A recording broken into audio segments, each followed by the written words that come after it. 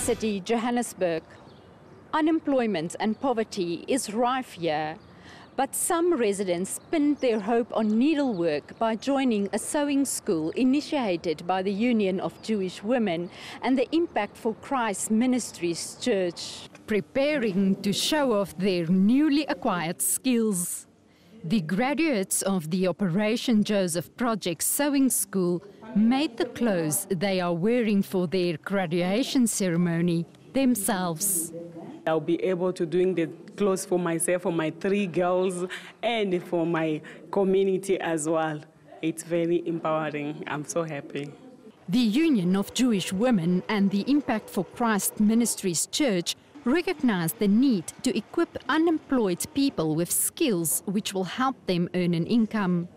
The organizations earlier took hands and created an opportunity for individuals to take a short course in sewing at minimal cost. The student, we found them from the ministry that we're in, and then it's anyone who's not working when need to be empowered. But it's important for them to be able to be seeing well because as they use the machine, and it needs someone with a good eyesight and we hope to improve their skills as we go on. So this was like a crash course to give people basic skills. We're giving them some employment. It's like giving them a foot up or a, a start in this career. For their final test, the students and a few junior models hit the red carpet modeling their creations to friends and family. And then the highlight of the first sewing school graduation event. Hallelujah, hallelujah. I want to thank everybody that has supported us and uh, gave us this opportunity to study and do this course. It's, it's been a pleasure to us.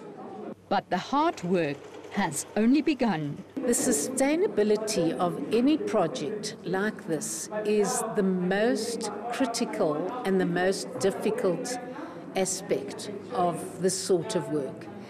And um, we, are, we have worked already very hard at getting orders for them.